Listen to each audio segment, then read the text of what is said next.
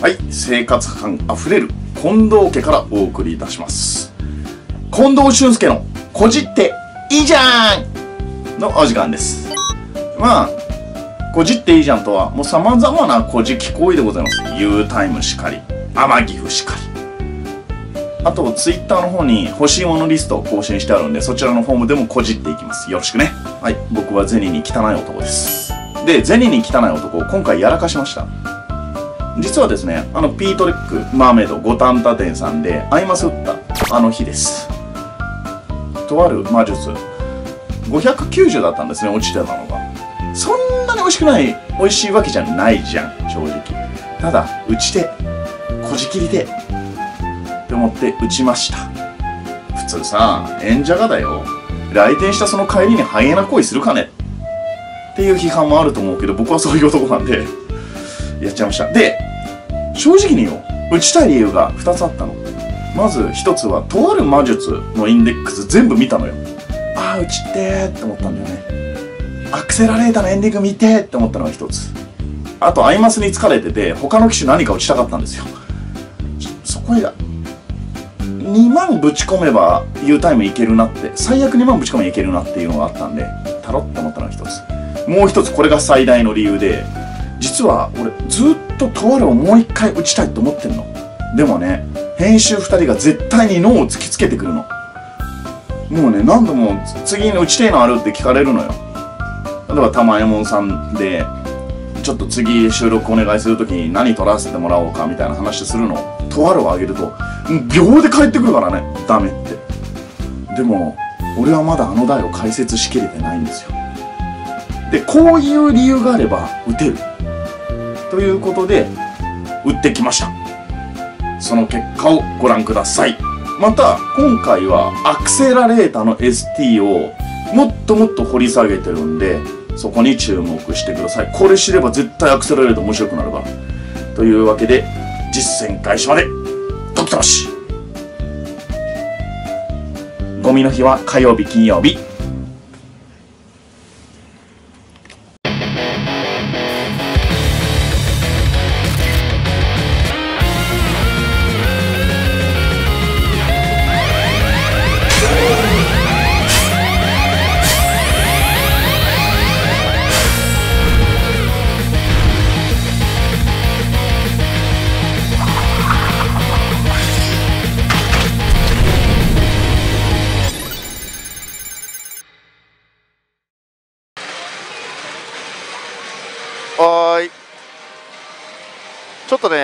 タイムまで残り400の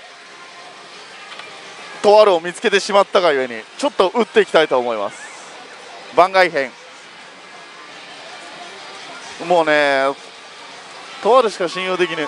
でゲーム性カスタマイザーシンプルとラッキーカスラッキーエア。これですよ。これが面白いんですよ。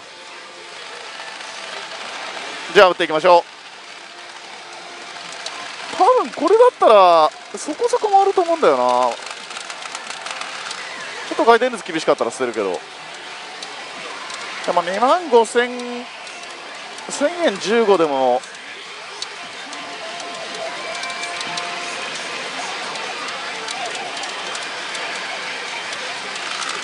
もうちょい回ると思うんだけど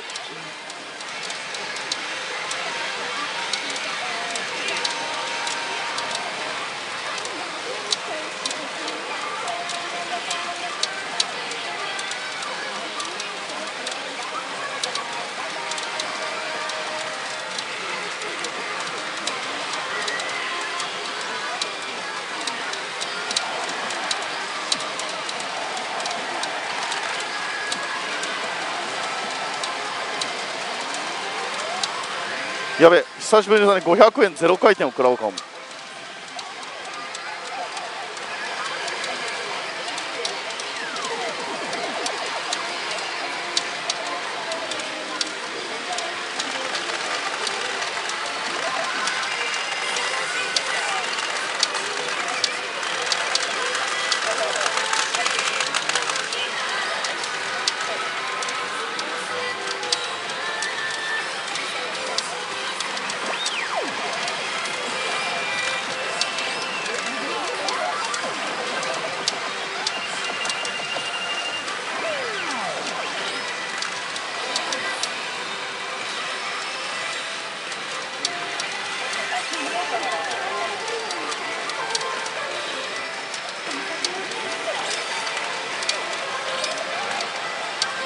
ぱ回る。今500円で0回転という記録を達成したけどやっぱおかしいよな。もそんなひどいようには見えないし。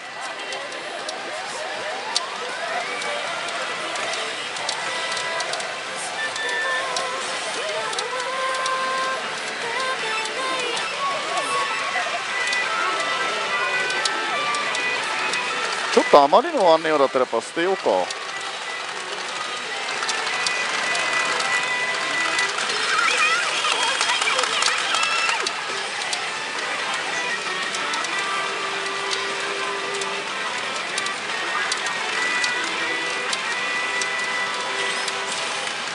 そうなんでこんな回んねえんだ？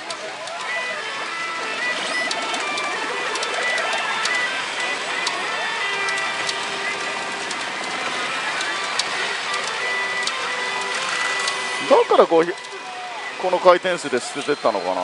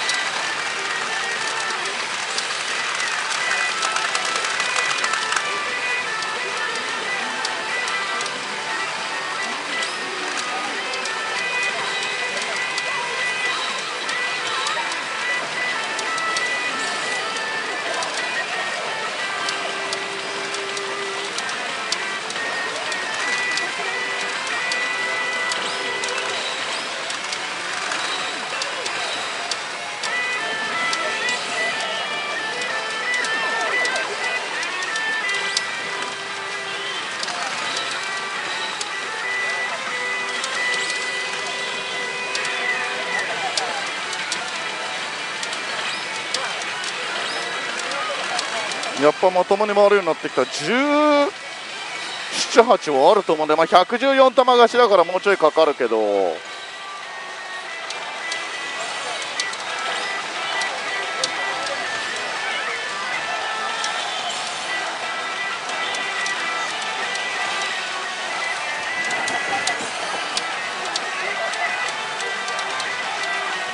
でとあるついに全部見終えました。あメガネしてね。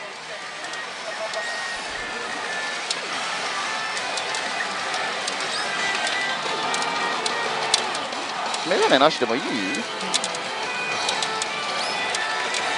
う天井まで行くか。最悪400回転回せば当たるって考えたら楽だもんな。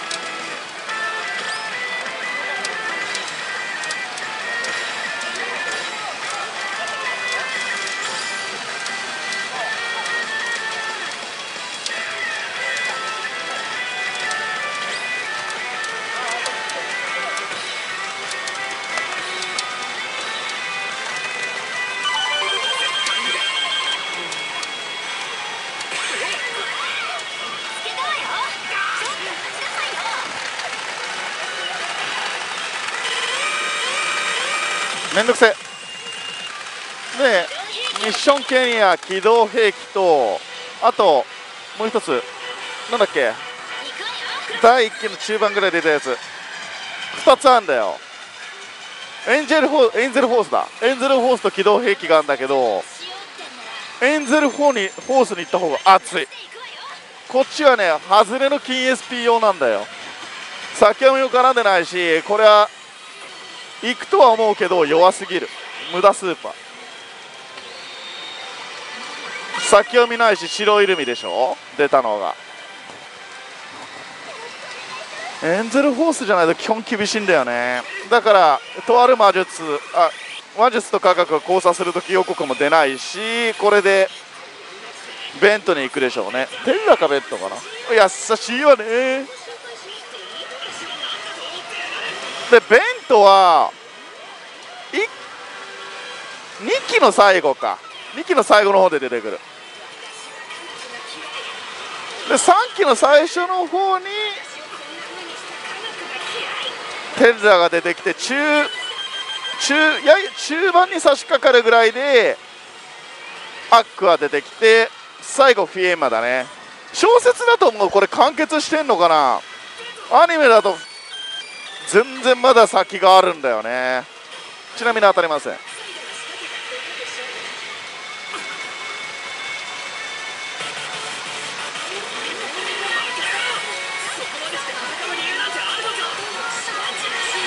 や確かにこれアニメ見たけどくっそ面白かったよ。3期みんなつまんねって言うけど俺3期も面白いと思うんだけどな。う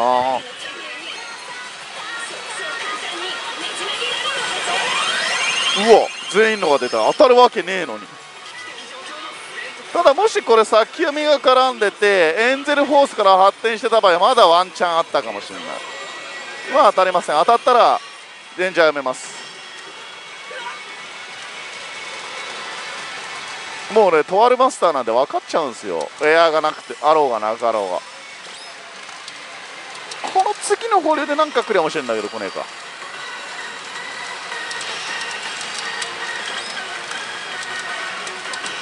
で黒子も結構強い。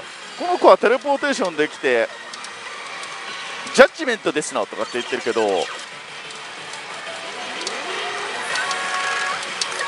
まあ要は取り締まりしてるんだよね。悪いやつから。警察みたいなことしてんだよ。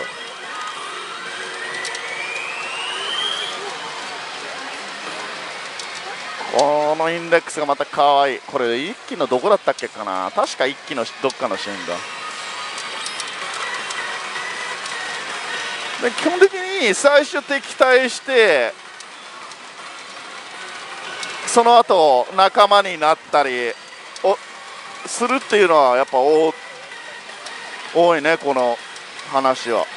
だからアッカーも結局こ味方に近い存在になるしであるかとか言ってるあの人。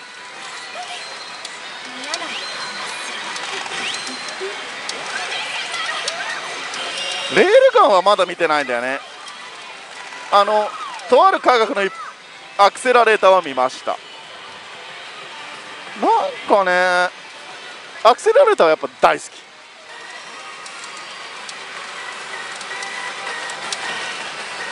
き。逸話ちゃん。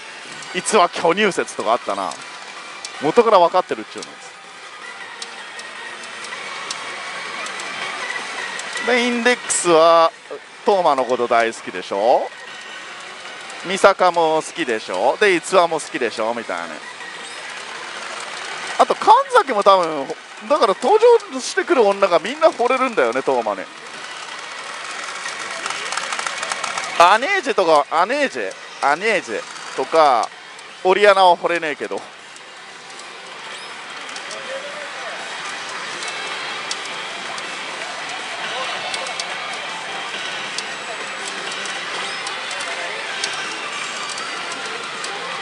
できれば天井行く前に当てたいよね。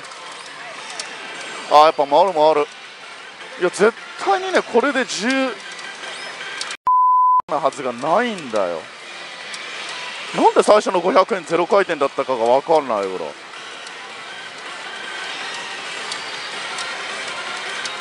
うん。4000円。で、まあ、最初の500円がゼロだったから、まあ、3500円。さで64回転ぐらい。しかもこれ114玉貸しだからやっぱいけるね。これならちょっと粘ってみたいね。これ俺を編集しようかな。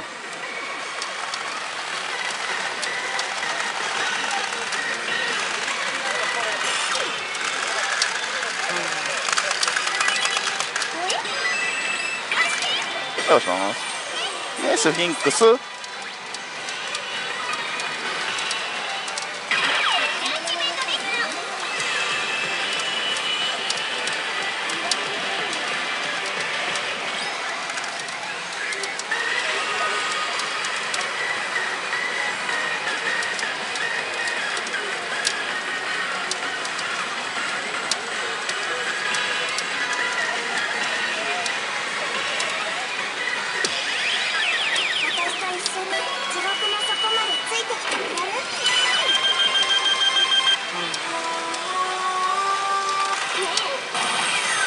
ペルインターセプト。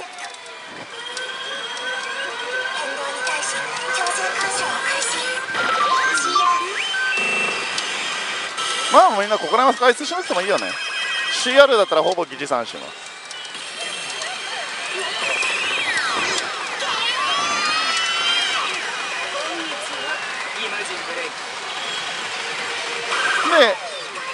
でリーチの敵で一番最初に出てくるのは今のエリス。次がネージェでオリアナの順か確か。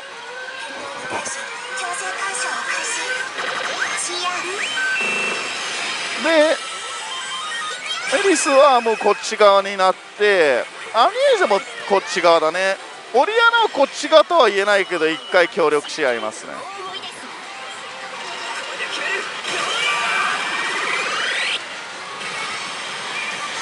そうエリス。これはね1期の最後の方で出てくる。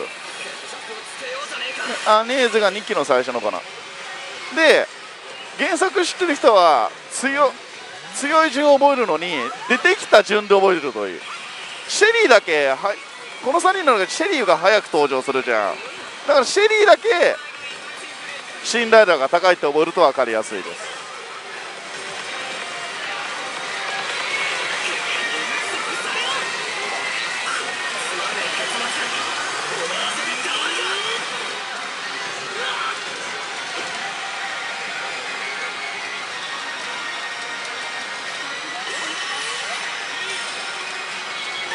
さあ清美来ねえかな。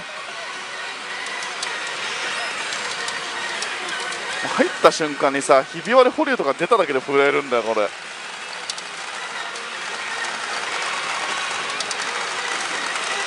であのアイドルマスターとかに比べるとやっぱそんなにひどいスーパーには行かないから。いいね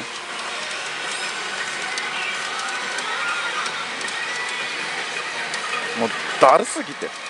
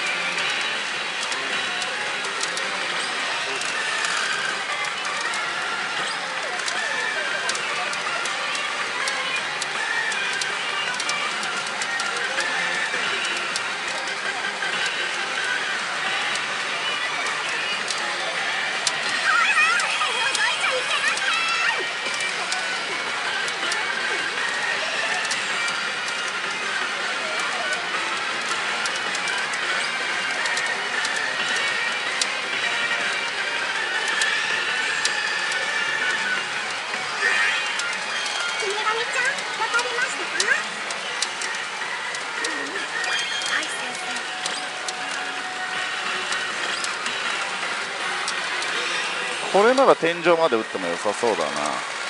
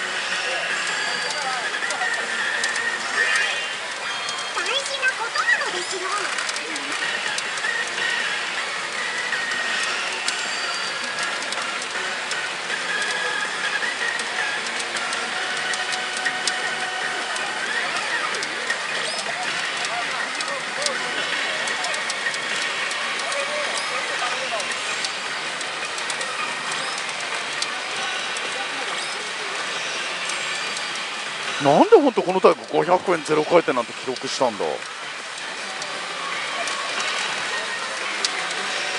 ？125発であ250発で20ありそうだぞこれ。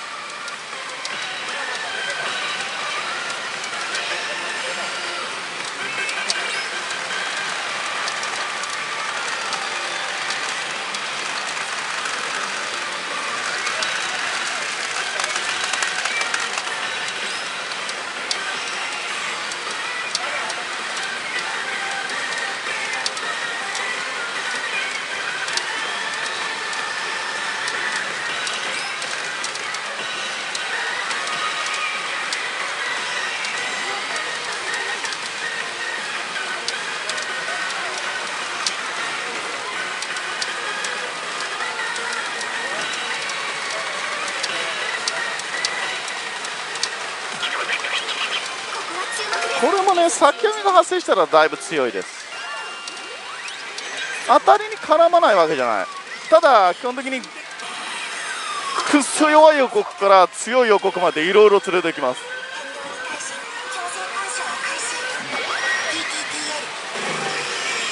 今の演出本当にクソかと思ってたらそうでもないんだよ。たまに当たりに連れてくるんだよね。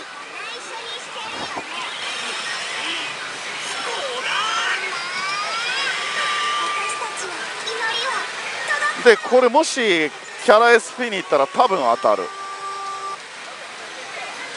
いかないよね。これねいわゆる青系白系だけだとスーパー行かないの。青系白系しか出てないのにキャラ SP とかに行ったらそうするとキャラ SP で刺さったりする。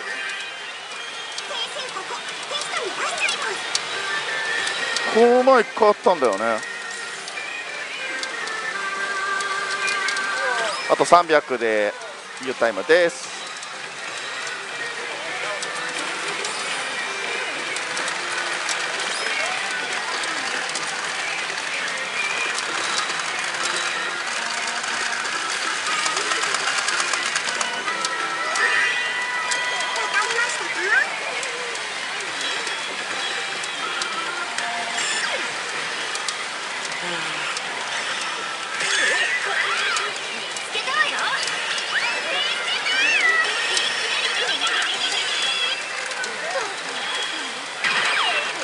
これも。もしこれでスーパー行ったら熱い。まあ大体キャラ SP なんだけどそういう時のスーパー。行かないよね。あラストオーダーとミスが今のとか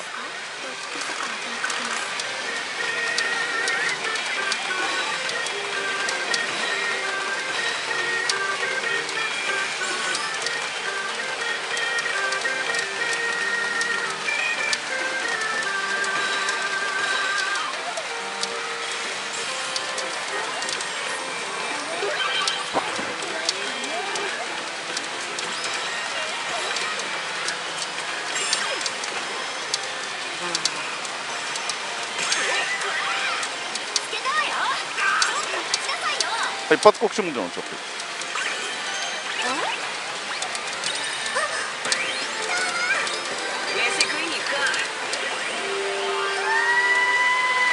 これたまに触っちゃってここの十字キー変化してることがあるから気をつけてねこれそれでこの前入賞時に点滅それ来てうおって思ったら一発告知モードになってて泣きそうになったことがあるすげえ恥ずかしかった後うおって言っちゃってさそしたらしょべえので終わってて。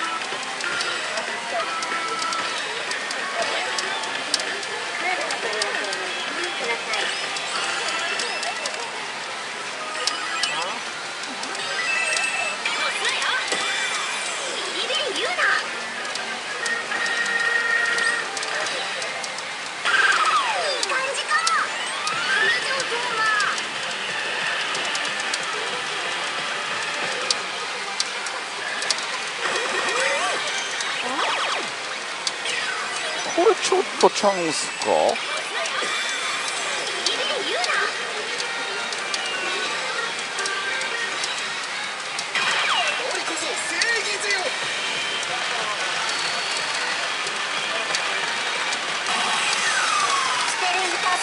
今ねスペルインターセプトが出なきゃ大チャンスだったかも。キャラリー行ったら熱かった。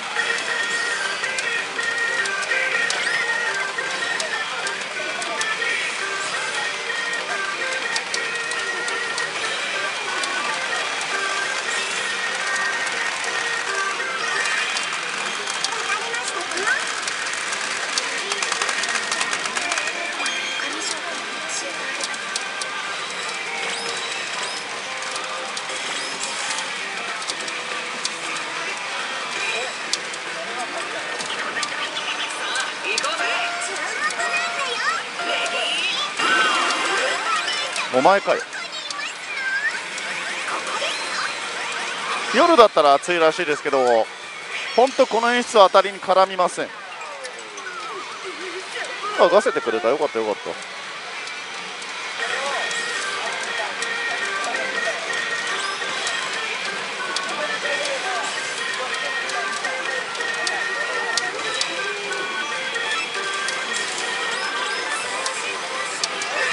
本当は楽曲流したいんだよな。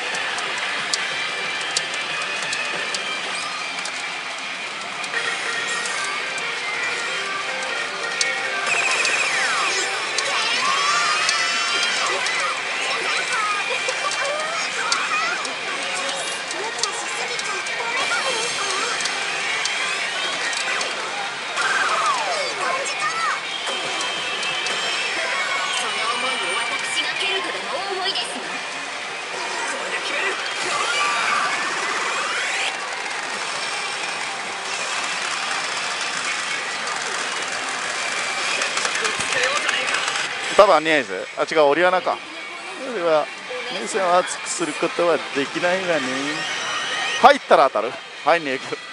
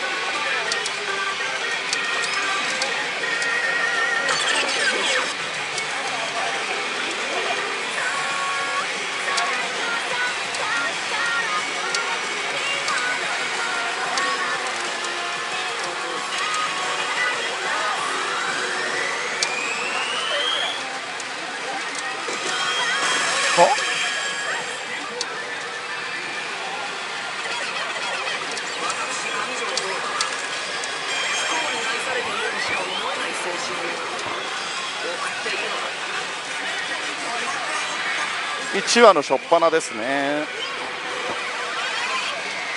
バク。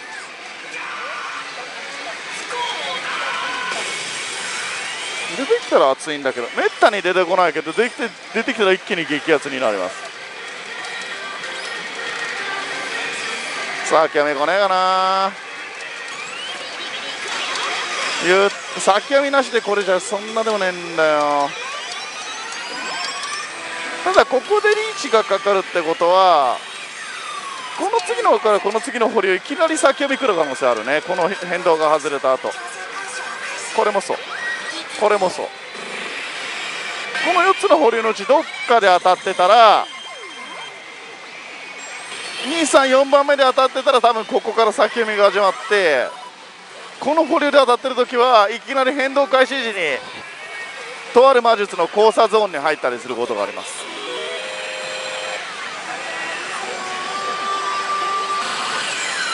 ペルインターセプト変動に対しで先読みなしのとある魔術の交差ゾーンは弱いんだけどめちゃくちゃ当たんないのよ。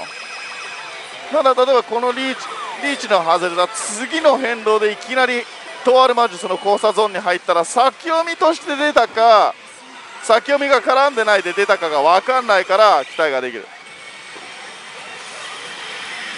だから先読みなしでとある魔術の交差ゾーンに入ってああこれ当たんないかなって思うのはまだ早い。その前の保留でリーチがかかってた場合は先読みを発生させられなかったから当該変動で出すしかない状況なんでまだわからない。ただ例えばリーチにならなかった本田が続いてていきなりとある魔術の交差ゾーン出たら弱いです。ちなみに僕は当てたことがありません。そういうケースでは。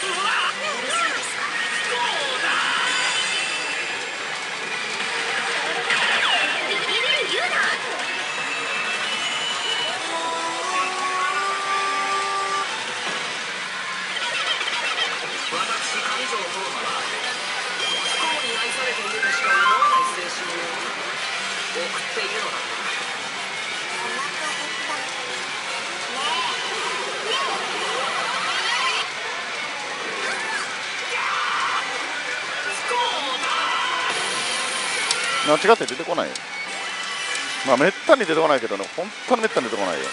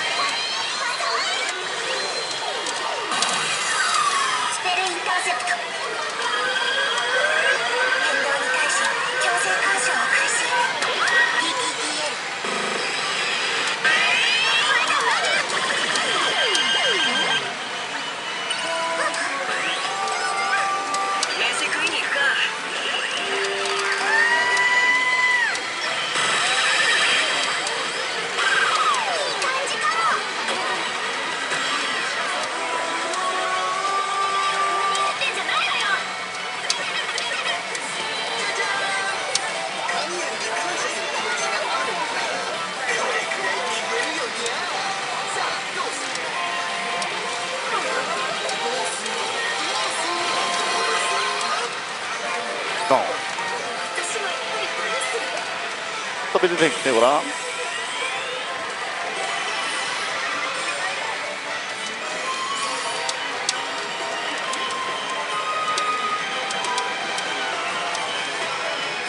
なんで長えんだあれか運動会でも行くんかなんでもねえの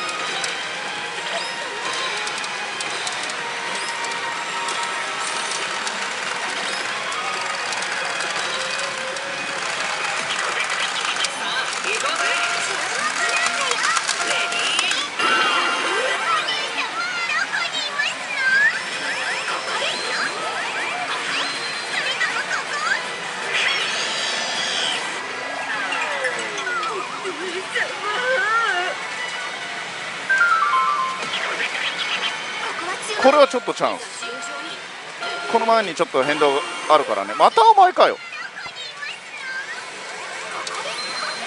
ゆる先読みを出せない変動だったんでこの場合はややチャンスです。これじゃダメですね。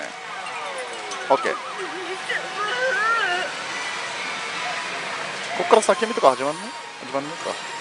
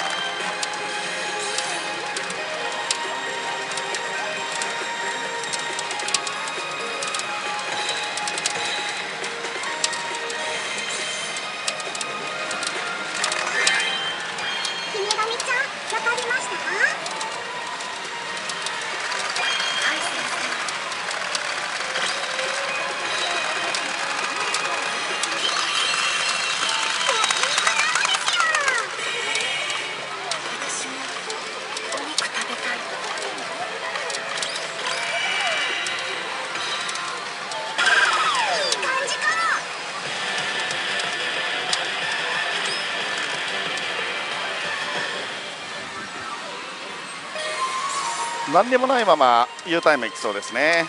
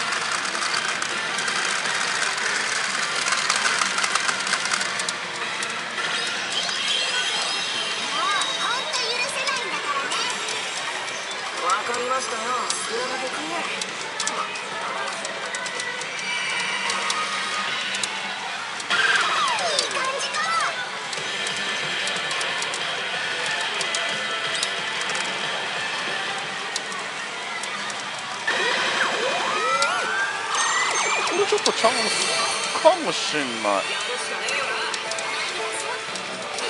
リーチの次だから。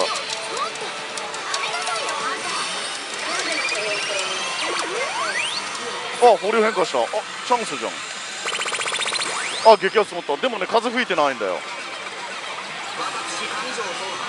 このまま当たんない？お前。しか思えない青春を金 SP 止まらずこのまま当たってみろ。風が吹いてないから。このまま当たる可能性がちょっとあんだよ。行こう金 SP か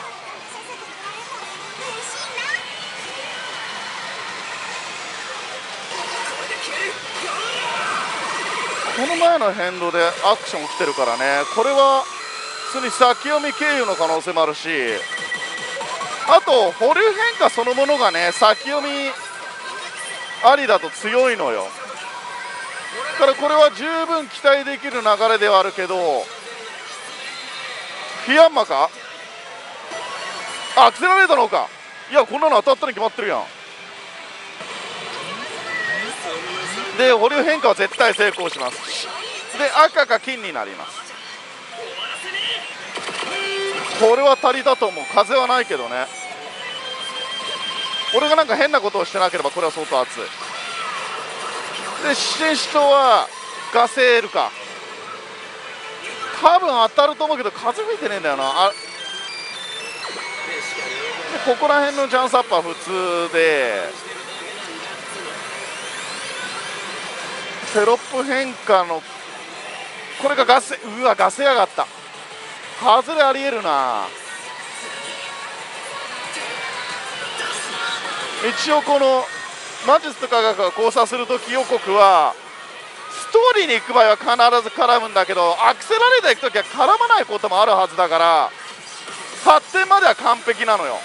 ただこれがガセたらやばい。ガセううわやらかしたくせやらかすとしたら2つ足りない要素がある。やっちゃったか。おいっと。さすがに行くか。ちょっとねリーチ中怖かったのがまずこれがガセだごと。あとあのイルミで全員バージョンが出なかった。この2つ。U タイム行ってもよかったんだけどな。1万7500円で320回転ですね。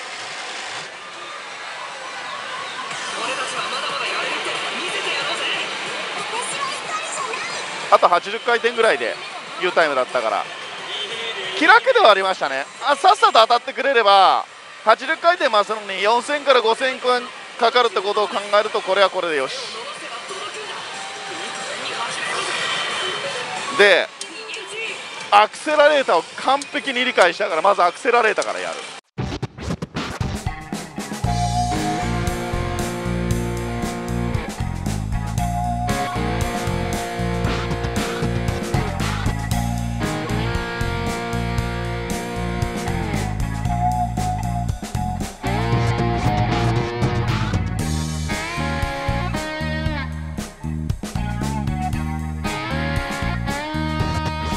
だからねこの先編みあ違うシンプルモードでやっててカエル保留とか十字架保留とかインデックス保留が出たら熱い。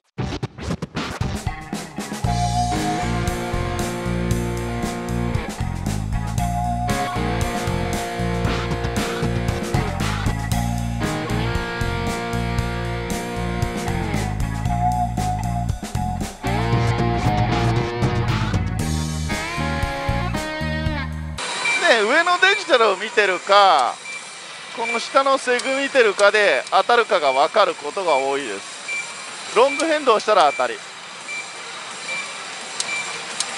来ない。もしゼロで当たるときはゼロの瞬間にピンってきます。だからこれゼロの時は外れてます。じゃあアクセラレーター行こうか。アクセラレーターはやっぱねただ長いだけじゃダメだった。やっぱオーラの色がすげえ重要でした。連チャンしてくれっかな。やっぱ 100%ST はいいね。連チャンしてくれよ。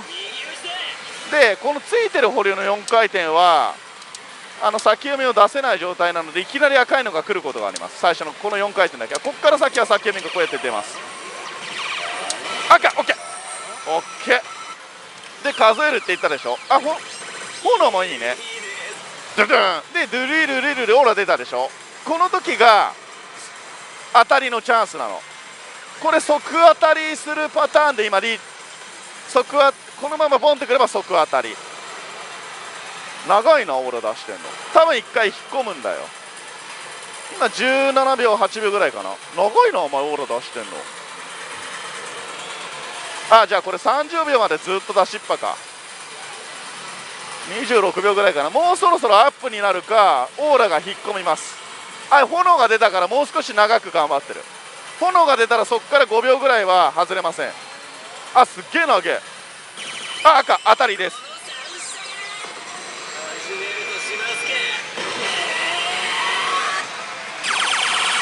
やったぜアクセラレーターちゃん。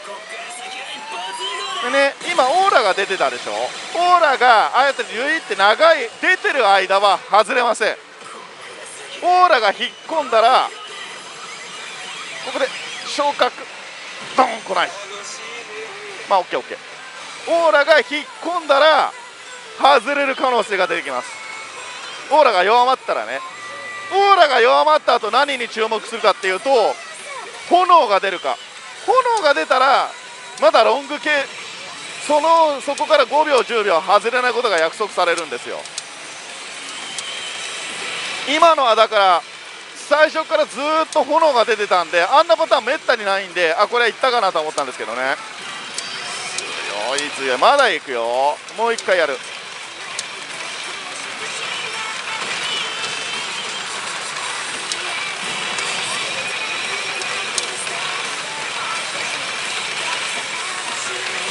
でとある魔術の本編だとミコドってあんま出てこないんだよね。どっちかっていうとねアクセラレーターの方がね鍵握ってたりする。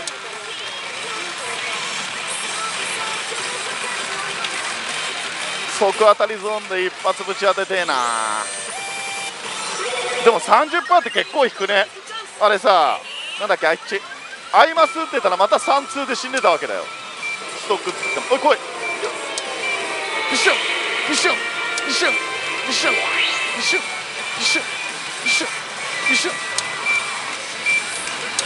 いでこのセグ見てれば上見てればロングヘンドになった瞬間に分かるからそっち見てる方がいいんだけどそこ見てるとあんま面白くない。やっぱねここに意識集中してた方が面白い。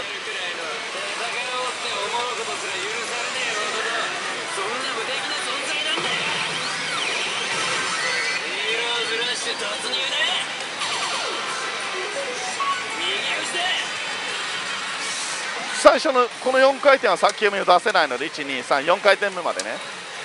だからいきなり赤ボタンが来たりします。ラストオーダー。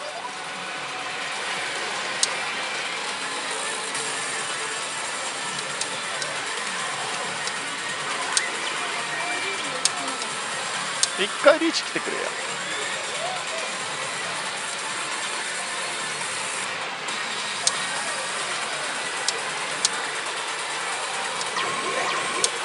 ボタンだけだとねやっぱ弱い先読みとしては。でこれオーラショーだけど今引っ込んだよね。これで外れの可能性が出てきます。ここから5秒ぐらいで外れるかな。ね。オーラが出た瞬間が当たりのチャンスで引っ込んだらその5秒後ぐらいに外れる可能性がある。だから30秒付近でオーラが大体赤だ赤だ赤だ赤だ。いいぞいいぞ。あっちあっちあっち。タッチした後しばらくしたらブーンって割れることもあるで今8秒ぐらいかな。もちろん17秒30秒はいくんでここまで来たら。でここら辺の炎出るよ。あ出なかった。こっちの方か。あ炎出たね。出れるオーラは強いね。もっと強くなってくれてで30秒ぐらい。ここで当た多分当たんない。弱いから。当たった。ごめんなさい。今ねガセてくれてもよかったの。引っ込んだ後10ラウンドありがとうございます。ミサミサミサミサ。で今ひもしオーラが引っ込んアップが引っ込んだ場合オーラも引っ込むのね。でその後次60秒までがチャンス60秒になるかどうかがチャンスなんだけどその時引っ込んだ後し5秒後ぐらいに外れんの。だからアップになった後引っ込んだ後何に注目するかというと液晶周りに炎が出ることその直後。30秒付近でアップになりました。当たりませんでした。でもまだチャンスはある。ただそのまま外れることもある。できれば伸びてほしい。その時出てもらいたいのがこのエフェクトね。そしたら60秒までがだいたい濃厚になります。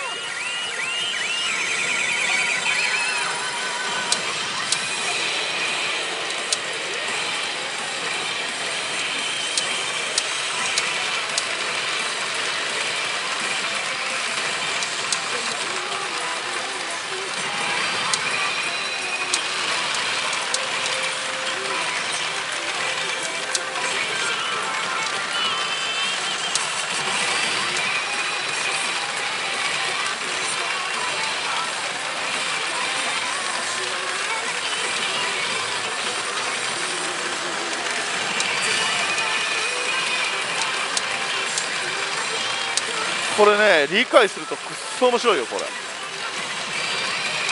アクセラレーターは。まだまだ浅かった。前の解説だと。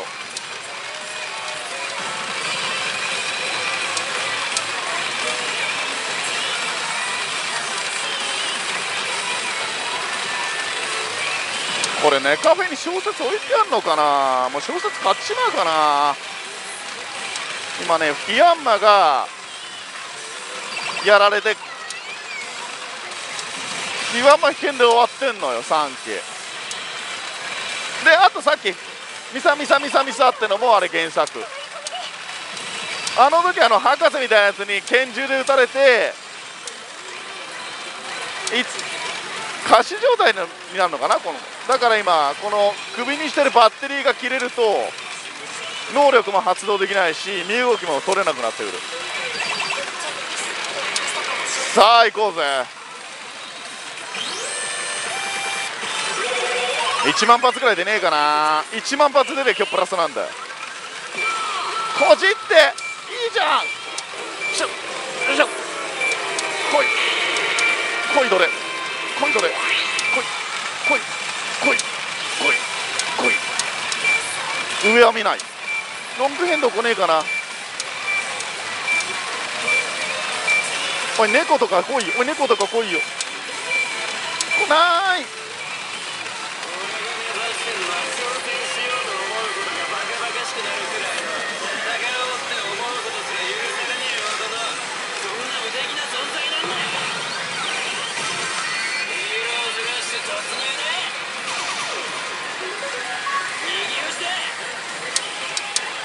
最初の4回転はさっきは見てないからどうだ？あでねここからここから先読みが絡んできます。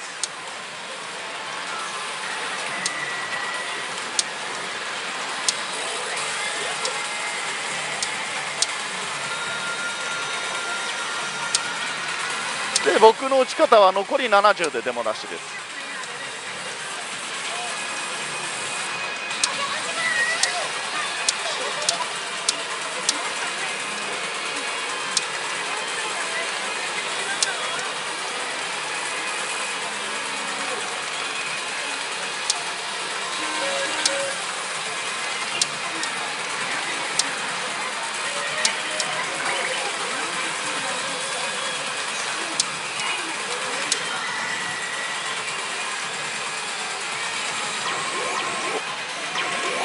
これプラスもう一つなんか先も欲しいんだよね。これだけだと弱いんだよ。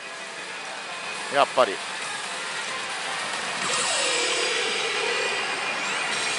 この背景がレインボーだったら大当たり濃厚あともしかしたらこの演出だけ7が止まった時点で激アツかもしれない。いつも4なんだよ。で大事なのがここでスピニングボタンになるかどうか。ならなかったらテンパっても弱いです。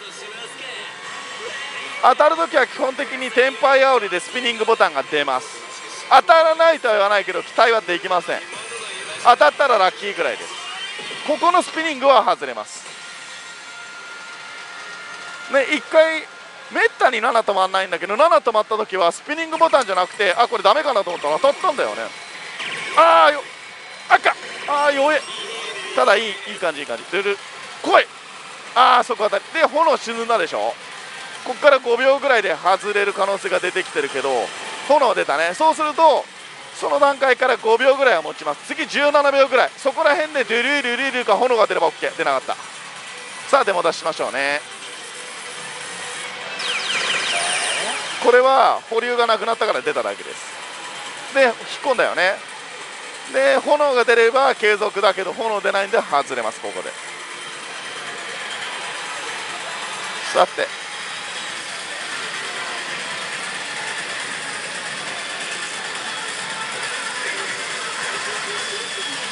こういう時に見えるとかラインのチェック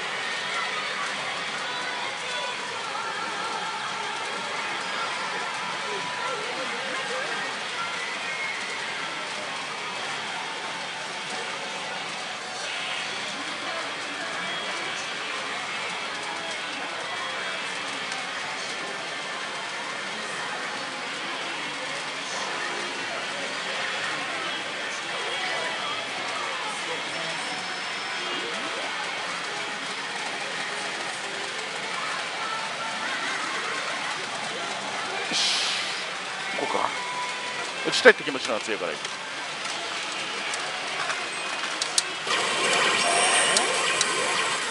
で今保留ゼロから入ったからこうなっただけです。1回だけこれで本当に当たったことだったけどね。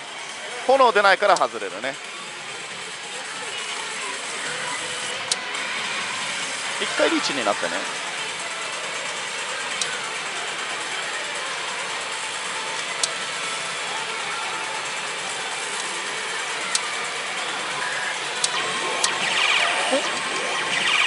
赤うわちげえか。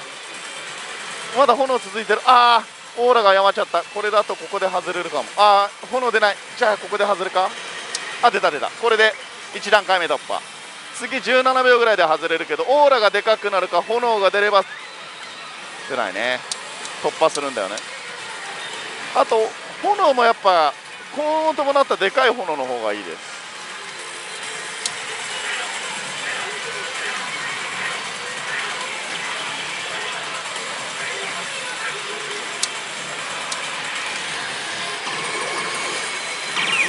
あ、肩肩ボタンマーカーオッケーよしよし頼む頼む。で今強いオーラが出てすぐしょぼしょぼんってなったよね。これ即当たりゾーンでの当たり即テンパイ当たりは否定した。で炎が出たよね。これで第1段階78秒での外れを否定。オーラが出ました。これ第2段階の17秒から20秒ぐらいの外れを否定これでも内部でリーチがかかっていることが濃厚です。でこのオーラが強いままだとチャンスです。この間は外れません。そろそろアップに引っ込んだね。こうなるとやばい。この直後ぐらいに炎が出ないとやばい外れるかも。突破した。多分突破した。多分突破した。OKOK30 秒超えました。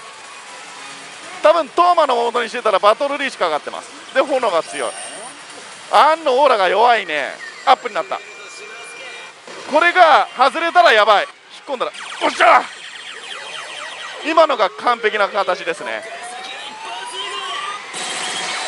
オッケー出せたね。あバイブしてからな10ラウンド。しゃどうしようもう一回アクセやるか。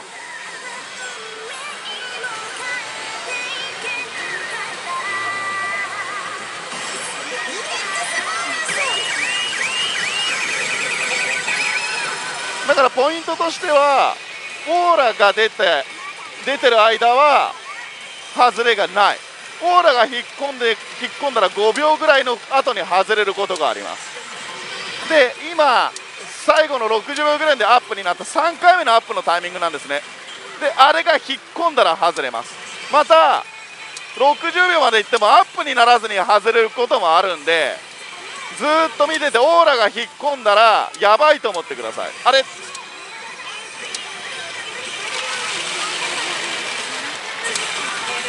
だからまあ端的に言うとオーラが出てる間とは外れがない。オーラが引っ込んだら外れる可能性が出てくること。あとは炎エフェクトが出たらそこからしばらくは外れません。そこからすぐに外れることは5秒後5秒以内は持ってくれます。だから炎が出てほしいのが変動開始から7秒8秒ぐらいで最初の外れが来るけど5秒ぐらいで炎が出ること。次17秒から20秒で外れるので15秒ぐらいで炎が出ること。次30秒超えたあたりでで17秒から20秒超えると炎のエフェクトあのオーラが絶対出るはずなんですよ。でアップになって外れるかアップにならずに60秒までいくかアップにならずに外れるかの3択です。でどのケースもあ外れるケース。当たってくれりゃいいんだけど当たんなかった場合リ内部でリーチが濃厚な状態でね30秒到達しました。オーラ出てます。アップになった。外れた。フィッシュン。ああ 4, 4ラウンドか。びっくりした。このままいけるな。でアップになって外れましたってなったらその後にオーラも絶対引っ込んでるんですよ。そこから5秒ぐらいで外れるんで炎エフェクトが出ることに期待してください。アップになってシューンってなった後炎エフェクトが出てくれたら60秒まで頑張ってくれます。逆にアップにならずにオーラがしぼむことがあるのね。30秒超えたあたりで。そうなると30秒で外れるそのまま外れることもあるの。60秒までいかずに。そういう時でもとりあえず30秒超えてオーラが引っ込んだらオーラが引っ込んでから45秒後ぐらいに炎エフェクトが出るかどうか。炎エフェクトが出てくれればセーフです。キャリーあと6000発。お前ならやれる。俺ならやれる。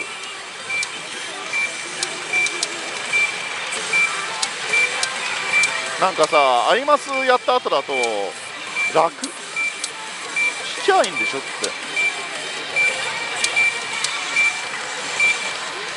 来い。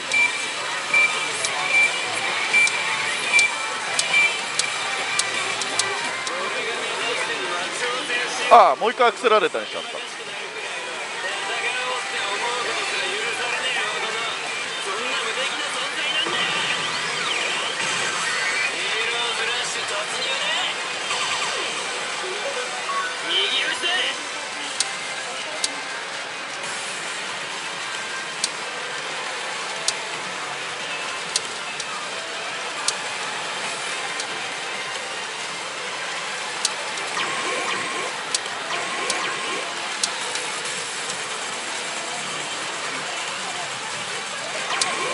で今保留4つから全長始まってあそのままドンってこい。ああ引っ込んじゃった。これで 1, 1段階目の当たりが来て炎が出ないからここで外れ。あね珍しい。あ外れた。だからね炎は継続の合図だと思っていただいていいです。お赤でさっきを見したびっくり。これ激アツじゃんでその時これタッチするとすぐにはねバーンって反応しないんだけどしばらくしてからバーンって反応することがあるの。そしたらお激アツです。あ今回炎出ねえな。あ出た。これでオーラが出てる間は外れません。で炎も出たんで17秒超えてオーラも強いです。悪くない。ここで当たるかもしれないね。当たった今のは強すぎる。あれねボタン先読みがいきなり赤からでいったの。おエピソードなんで10ラウンド。木原くんよ。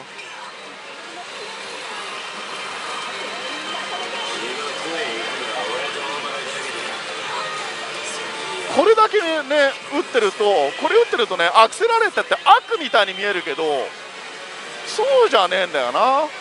なんだかんだ。基本ね出てくるやつ。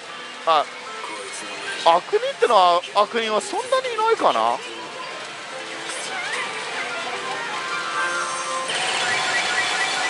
木原くんよ。確かクレヨンしんちゃんの野原ひろしと声が一緒なんだっけ？これで5000発。このダイヤプラス。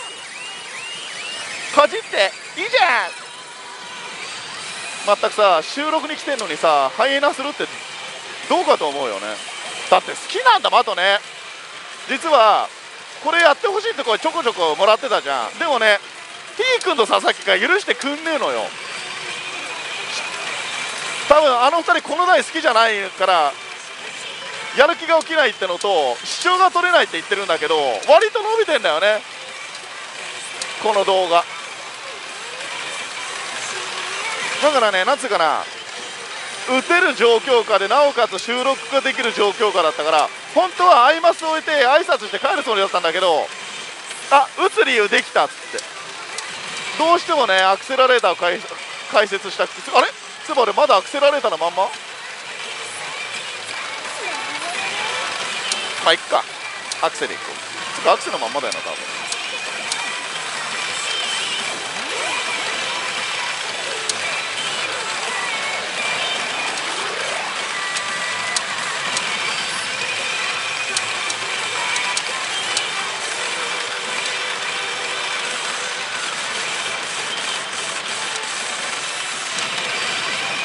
ああこれか。どうせならエンディングまで頑張ってみようか。4回。みんな見たいでしょ？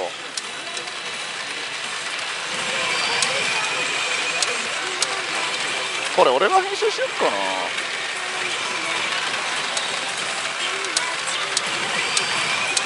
エンディングはもし行かなかったらネタバレしますね。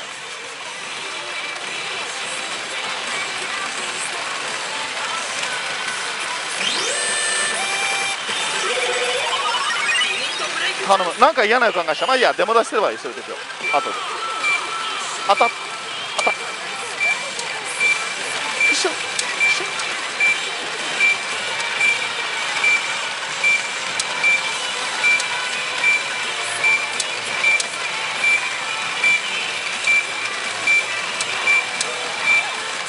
ごめん。来い。来い。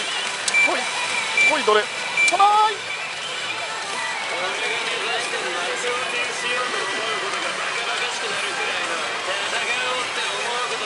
まあこれでも5000発だったからね。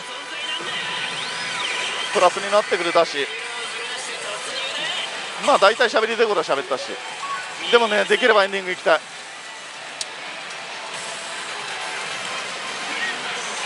来い。ここまでは先読み影響しない。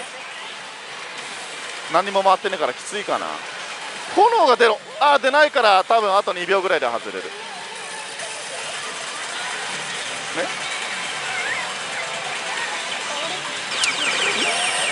ああでもここら辺が回ってない。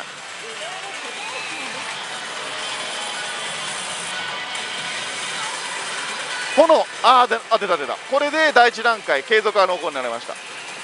次は17秒ぐらいで外れるからここら辺でオーラのアップか炎が欲しい。出なかったね。だから外れる。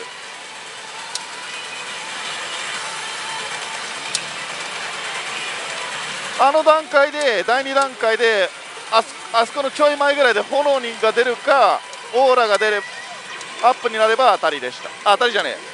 30秒まで行きましたね。外れるタイミングが 7, 7秒から10秒あたり17秒から20秒あたり30秒超え60秒ぐらいです。60秒前後か。この4箇所ぐらいしか外れるポイントはないです。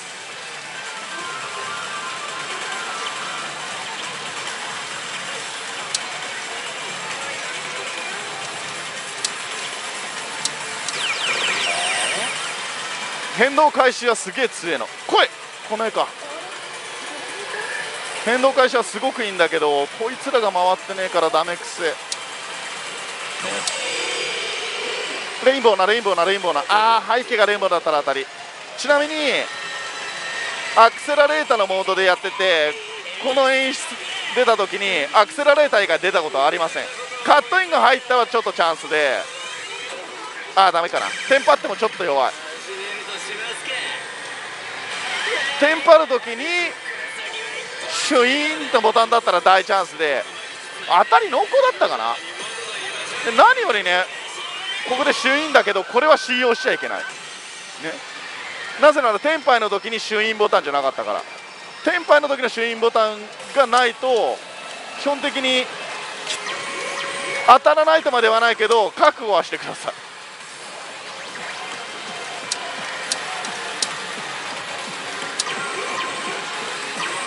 さてでも出し。白いよ。ほら。炎が炎が出ないとここで外れるかな。あれ超えた？そうなるとこもうああダメだ。さあでも出しと。は？これは保留がゼロでも保留があってもでで7が止まったらね本当に超激アツかもしれない。やっぱ止まんない。なんで普通ボタンなんだよ。テンパったのは嬉しいけど。個人的には普通ボタンでテンパったら10%ぐらい。シュインボタンじゃないね。まあこれでも当たらないことはないけど今日こうなる。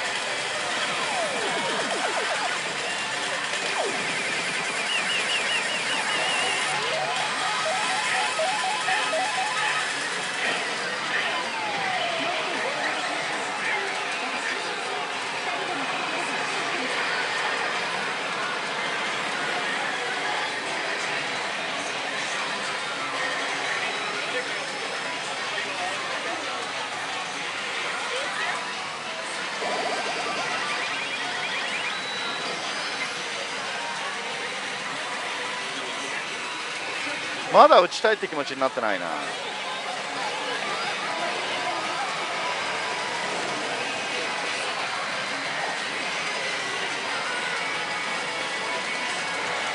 したら YouTube のコメント返し見に行ってこう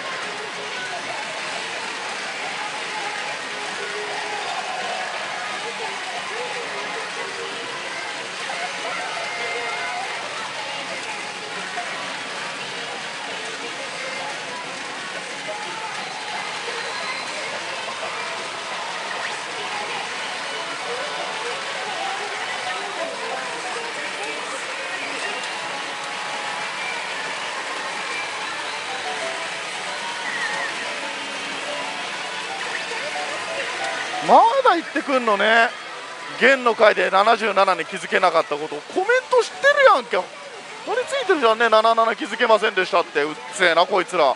死ねばいいのに。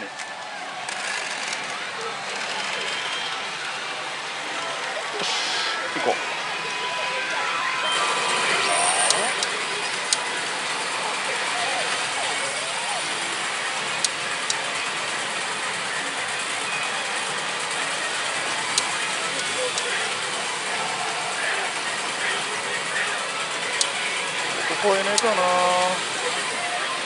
な。なんかね5000発って見た瞬間にね安心しなんかこっから続かないような気がしてるんだよな。当たっちまう。即当たり。あこれあるのよ本当に。即当たり。炎来ねえから外れか。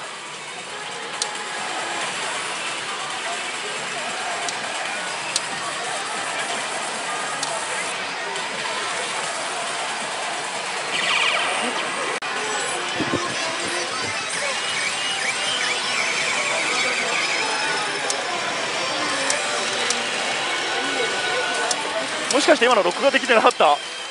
今のベストな当たり方したのに。それとも勝手に切れた？どっちだ？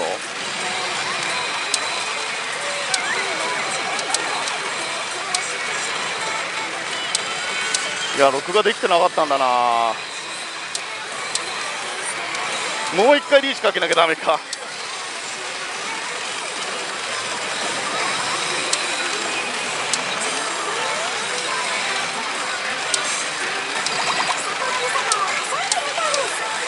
まあまだまだ球出したいしね。いっか。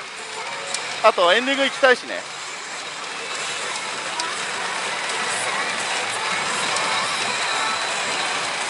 もう海と冬ソナととあるとギアス以外全部撤去してくんねえかな。で全員処刑するのと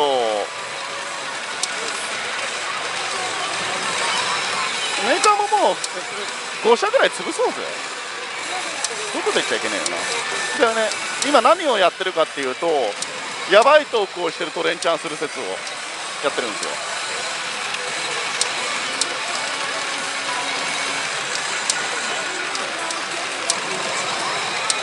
あと3回。10連チャン目で残り0になった後10ラウンド引けばエンディングが見られます。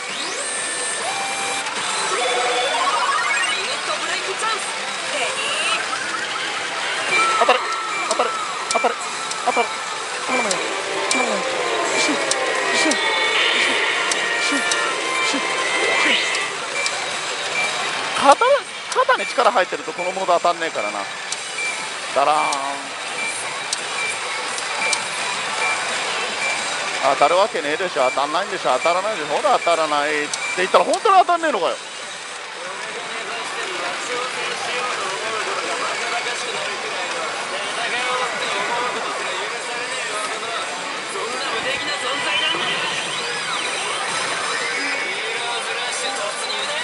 さあ行くよ。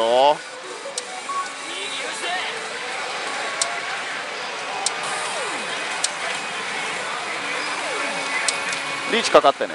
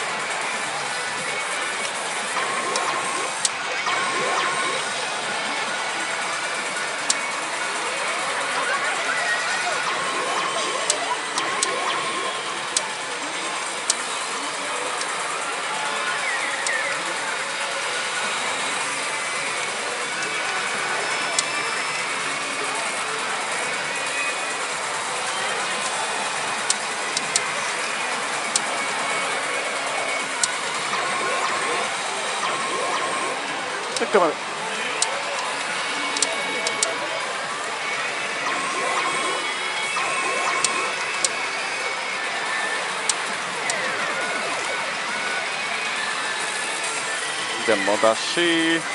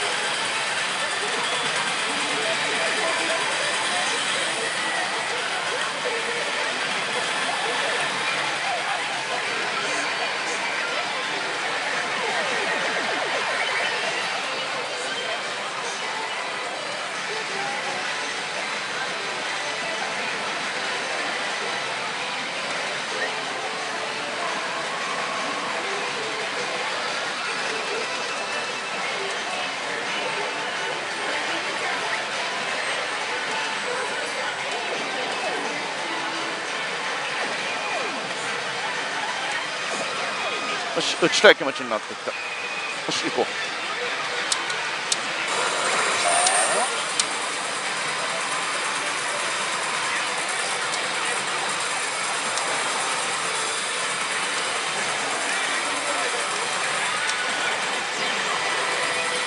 あれ？あこれは今エアも吹いてる。あれねアクセラレーターモードでラッキーエア準備中って出ないの。もしかしたらアクセラレーターだけ出たら激アツな可能性がある。初めてでびっくりした。え？何それって思ったもん。1の1ですよこれで。いや7でしょこれ。ラッキーエア準備中は。10ラウンドなんです。今のがそで今のできればね今即当たりじゃなくて60秒まで頑張ってほしかった。贅沢言っちゃごめんね。でも一番解説がうまくいった回が収録できてなさいない可能性があるの。悔しいの。嬉しいけど。ただエンディング目的もあるからね。頑張ろうね。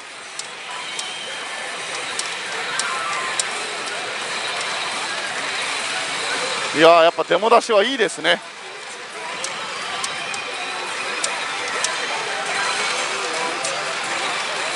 俺ねひどい時はね10分ぐらい待つよ。打つ気にならない時は。いわゆるイメージするの頭の中で99を引けるっていうか赤い赤くボタンが回ってアクセラレーターさんがこっから先は一歩通行だっていうシーンが頭に浮かんでいけるって思うまで打たない。そういう時は本当に15分とか待ったこともあるしね。6連チャンに1時間かけたことあるよ。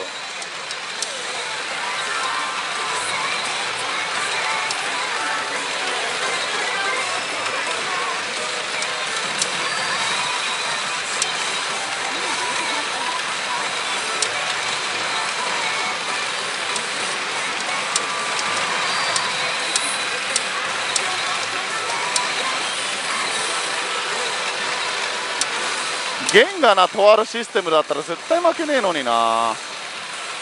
ゲンはねなんだかんだね初当たりの相性はいいのよ。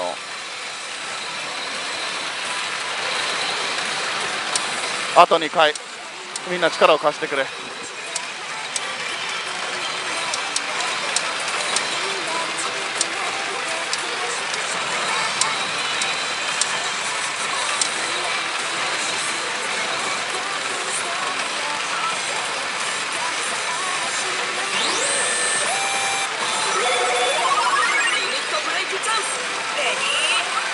あと2500発で今日チャラ。あ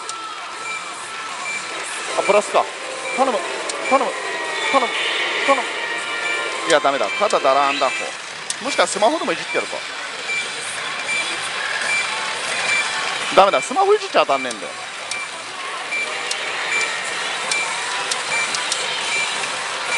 そろそろよくない？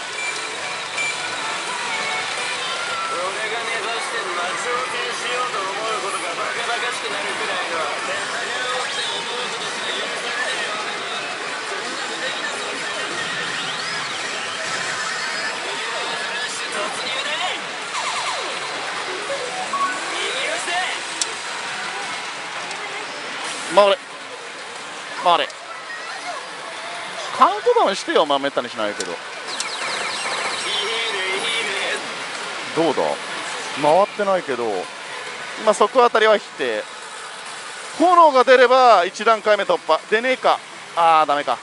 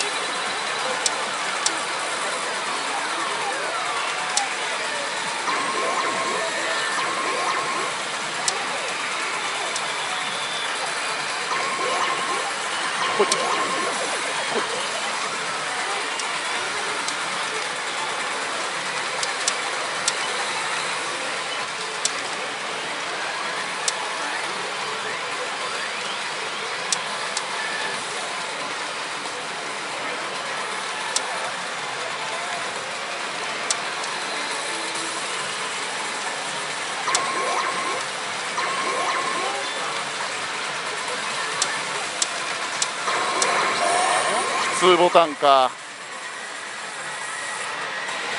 オーラが引っ込んだ。炎が出なかったら一発目で外れる。ダメか。あ出た。1段階目クリア。2段階目。注目すべきは秒数もそうだけど炎が出るかオーラが出るか。出ないからここで外れちゃうと。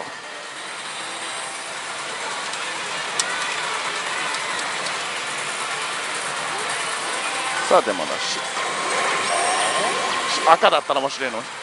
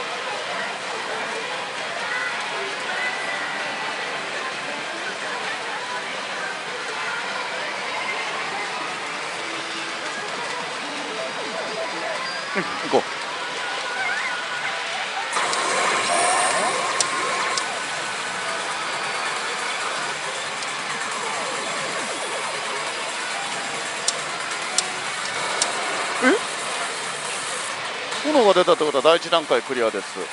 でもさすがにリーチにはならない。ああなんないよね。オーラも出なかったし。ああダメかい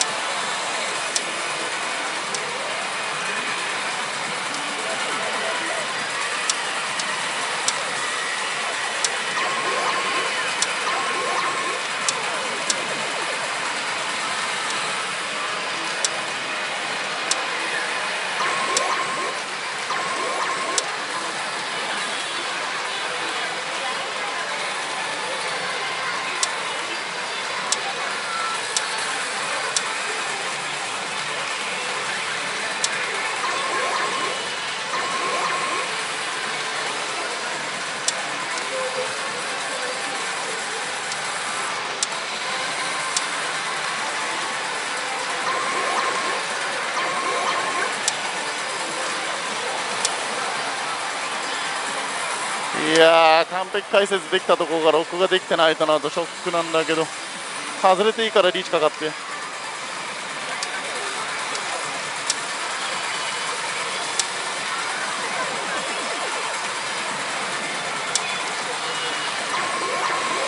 ラストチャンスかな。これ今日のああ動かない。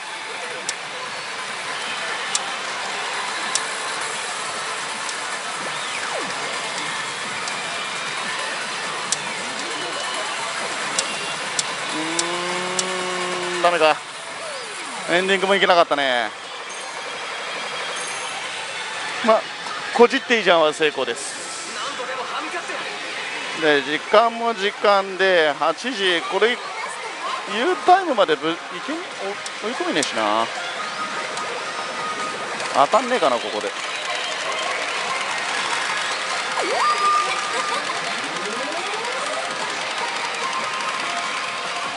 これ当たればまだ。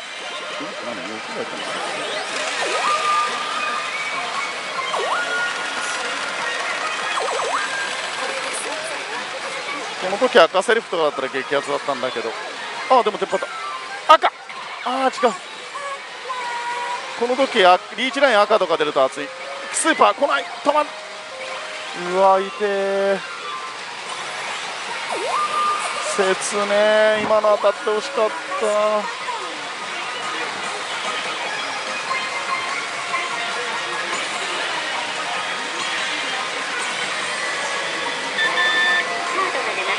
はい。じゃあ50っていいじゃん。ちょっと待って4500発投資で7946個。成功です。悔しい。しっかり回数できたのに。そこだけ取れてない。まあやる。大体上だと思う。まあ。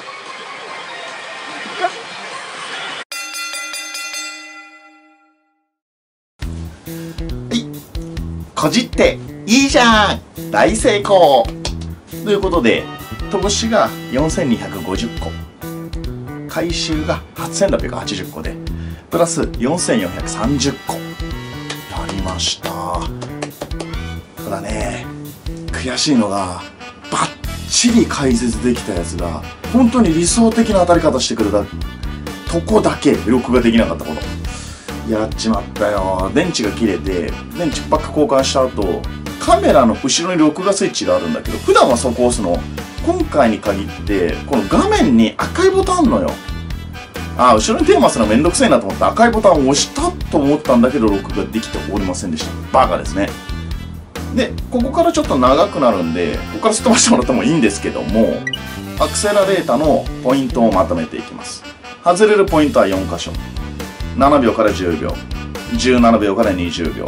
30秒前。30秒ちょい。60秒付近かな多分。の4段階。ここ以外では外れないのが1つ。もう1つとしてはアクセラレータがオーラを出した時。うん？とかルリールリールって言ってオーラ出すじゃない。あの間は外れません。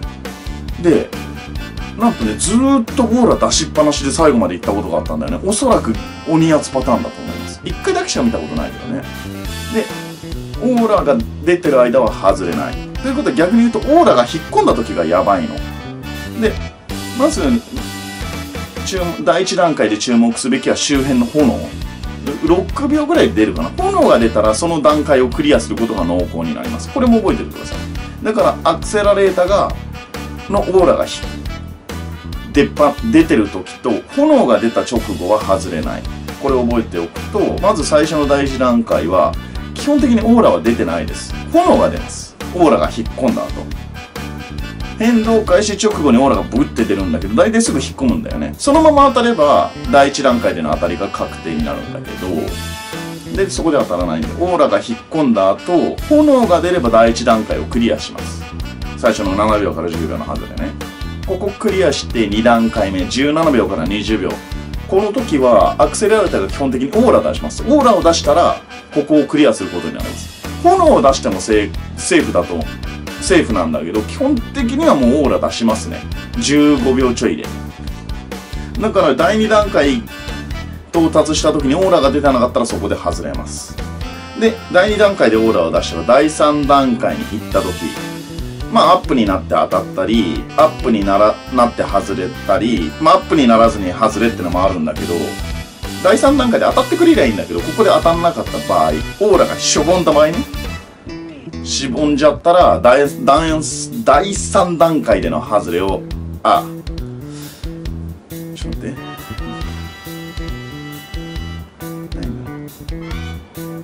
第3段階に到達した場合まあオーラがそこで当たってくれればいいんだけどオーラが大体しぼむんだよね。しぼんだら第第3段階での当たりは否定。で外れの可能性が出てきます。でしぼんだ後10秒ぐらい下のデジタルが止まんなかったら第4段階まで頑張ります。最終段階までね。もしくはしぼんだ後に炎が出てもう第3段階での外れを否定するので第3段階で当たらずにオーラがしぼんだ場合は10秒以上しのぐかオーラあ炎が出るのを期待してください。で第4段階またオーラを絶対に出します受賞つって。その後アップになって当たるかアップにならずに当たるか。アップにならずに外れることもあります。第4段階もオーラに見ててください。しぼんだら外れです。わかったかな？というわけでこじっていいじゃんは大成功でした。ではまた次回お会いしましょう。さよなら。